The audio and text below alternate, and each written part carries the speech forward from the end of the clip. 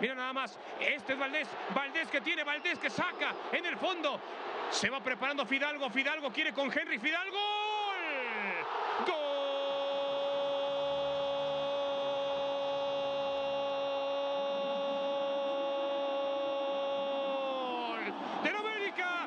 En tus manos, Telcel. Apareció Fidalgo que cuando hace ese recorte cortito ahí, apenas a unos centímetros, ese corte, ese sangoloteo, ese movimiento para enganchar, desequilibra bastante del fútbol mexicano y ha colocado el 2 a 0.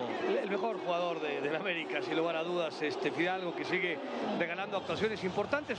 No es un tipo que tenga un gran vínculo con, el gol, pisa el área, aquí está lo de Valdés, y esto que mencionabas, es, es, un tipo tan escurridizo que en un espacio tan corto, tan corto, te saca un metro y medio.